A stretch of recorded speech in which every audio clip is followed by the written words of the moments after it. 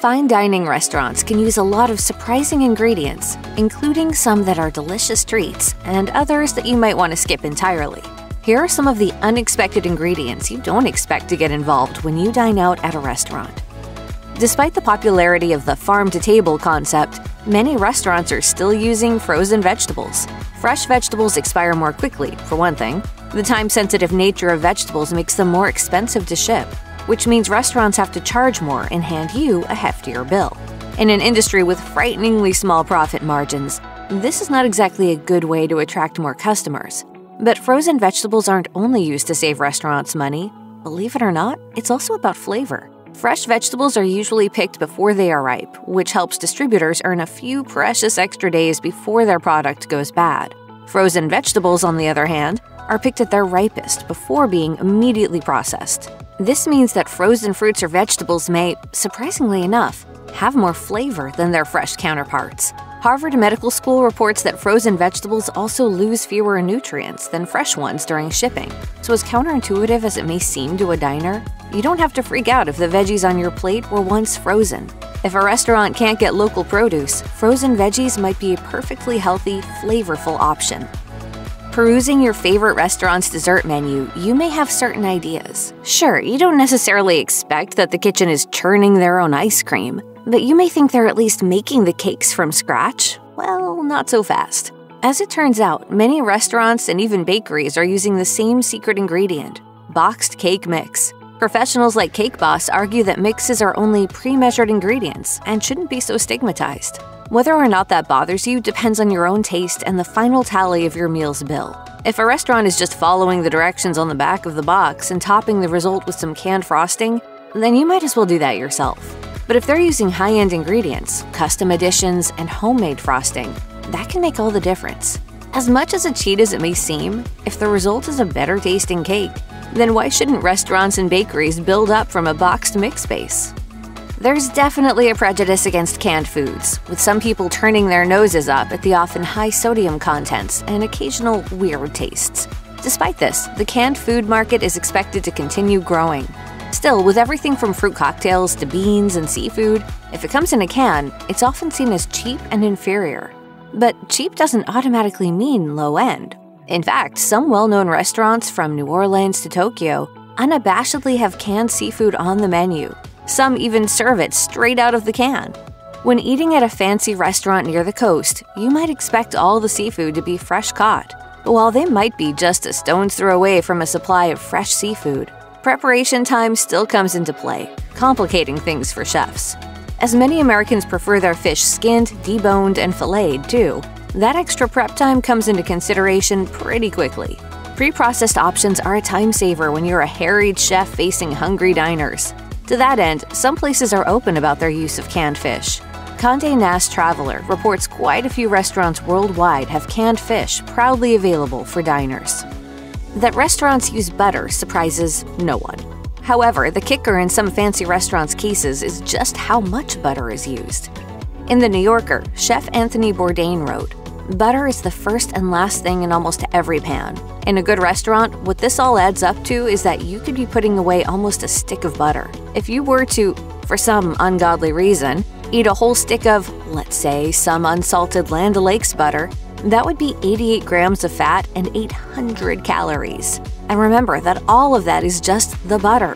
Whatever meal cooked and coated in that butter is going to increase the number of calories you're consuming. However, keep in mind that Bourdain was ultimately arguing in favor of butter and its flavor. And let me say this is there anything better than butter? While a high end restaurant could pay extra for more expensive meats, adding more butter is a significantly cheaper option. Butter will often be used to keep a chicken or steak tender and moist. It's also what gives the meat that appetizing sheen, ultimately meaning that your fancy meal could be coated in way more butter than expected.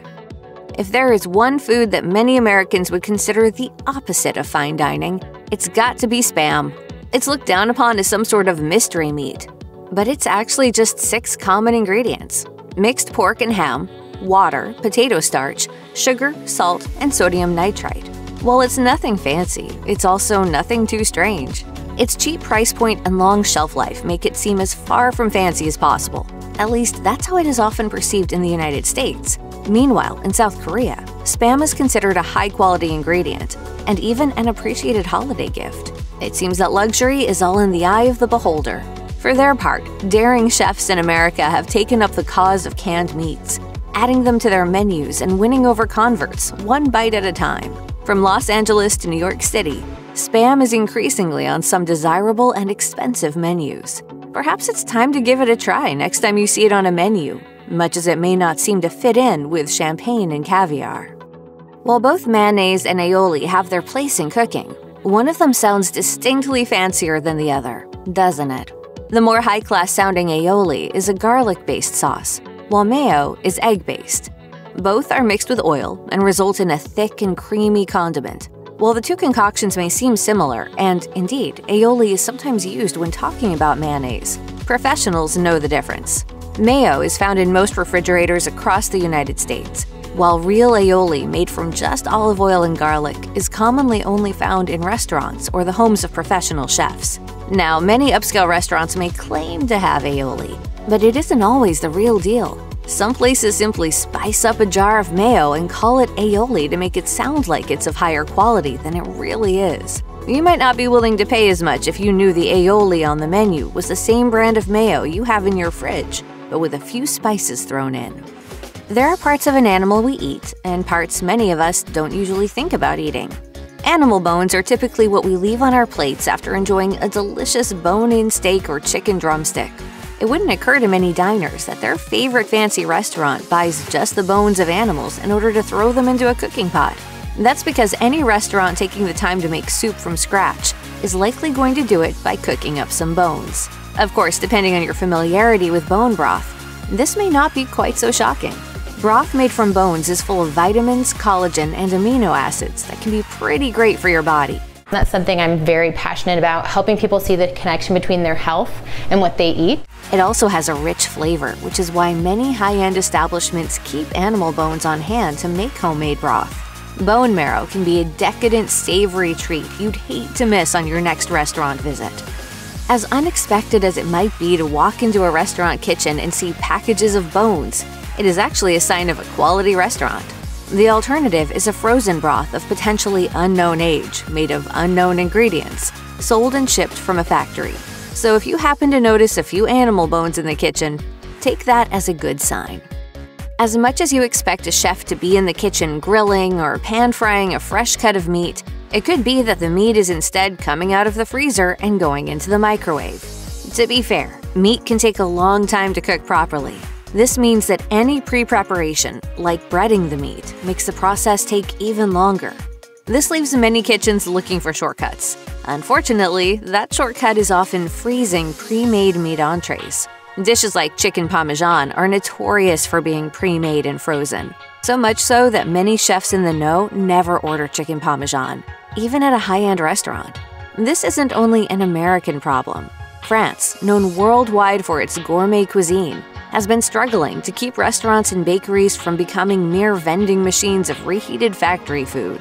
And if that's all customers are going to get, there's no reason to dine at an expensive restaurant when the same thing can be ordered from a discount menu. Much like parts of the animal many Americans don't think of eating, there are also plants people don't consider to be prime for their dinner plates. While we don't recommend plucking a flower or two off the centerpiece, you may be surprised to learn that certain flowers, even roses, are also fit to be served. Yes, roses. If you saw a bag of rose petals in the kitchen of an upscale restaurant, you might assume they were there as decoration. But think twice. Rose petals have been used in foods and medicines for thousands of years. Some restaurants are finally catching up to the trend and adding rose petals to their dishes, too. Rose petals can be used in sweet or savory dishes, steeped to make tea, cooked into jam, or used to make flavored butter. In American restaurants and bakeries, Rose petals are appearing in delicious desserts like Birdie G's Rose Petal Pie in Santa Monica, California. With their deep colors and romantic connotations, rose petals are a lovely addition to a meal that may surprise some diners, but will surely win them over with the help of a skilled chef. Highly processed and with an artificial taste, texture, and appearance, American cheese is popular among children and adults with a craving for nostalgia. Uh uh uh, hands off. The free singles are for Daddy. Oh, but Mom. But you know he is watching his fat and cholesterol. But Mom, they make a good sandwich. It may surprise you to learn that it is also popular among some award winning chefs. Despite their ability to sample a wider variety of cheeses than the average person, some chefs are still convinced that American cheese is the best choice, at least for certain dishes.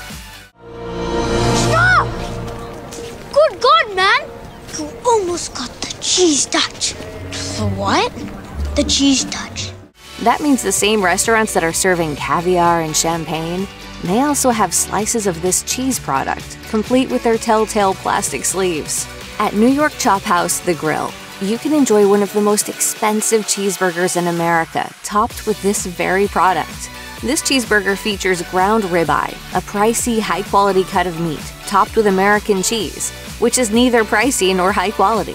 Many high end chefs agree that American cheese's melting ability and powerful nostalgia factor make it the only choice for burgers, no matter how extravagant the rest of the ingredients may be. No one picks what restaurant to eat at based on the whipped cream served on the dessert, right? But when you're eating a high priced specialty slice of cake covered in gold leaf, the familiar taste of processed whip topping can stand out like a sore thumb. Diners often recognize the taste of the store bought topping they know from plastic tubs. They also know that it often sells for a bargain, which then takes them out of the fine dining experience they were looking for. And yet, kitchens everywhere, from fast food chains to five star establishments, often have factory made whip toppings somewhere in their kitchens. What's the big deal? First, it's called whipped topping and not whipped cream for a reason. Whipped topping has the price advantage of not using cream, which even untrained palates may notice is missing. Heavy cream is expensive, but makes better desserts and can even improve savory dishes like soups. So the presence of heavy cream is a good clue that a restaurant is making more items from scratch, other than using store bought whipped cream. Unfortunately, many high end restaurants are tempted by the cheap, time saving option, even for a dessert covered in literal gold. Check out one of our newest videos right here. Plus, even more mashed videos about your favorite foods are coming soon. Subscribe to our YouTube channel and hit the bell so you don't miss a single one.